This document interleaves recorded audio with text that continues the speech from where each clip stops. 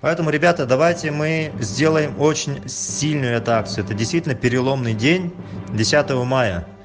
Переломный день, потому что у нас в стране долгое время не было митингов, организованных политической силой. Сейчас мы, Демократический выбор Казахстана, являемся единственной оппозиционной силой, которая объединяет народ. Единственной.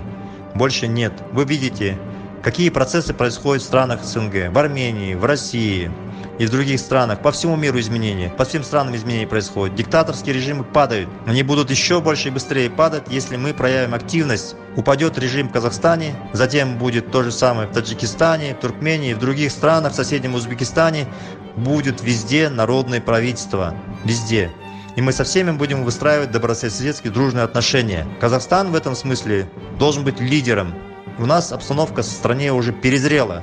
Назарбаев у власти 29 лет, он всем надоел, разворовал всю страну, сделал страну нищей, притом богатую, одну из богатейших в мире с природными ресурсами, с маленьким численным, э, числом населения он превратил в нищую эту страну.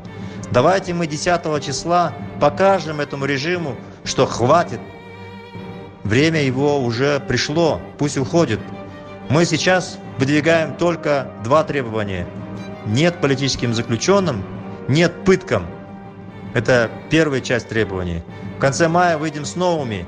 Шаг за шагом потренируемся, и к осени мы должны выводить на улицы сотни тысяч людей по всей стране. Люди еще, сами знаете, побаиваются. Мы должны людей убедить, чтобы они перестали бояться, начали бороться.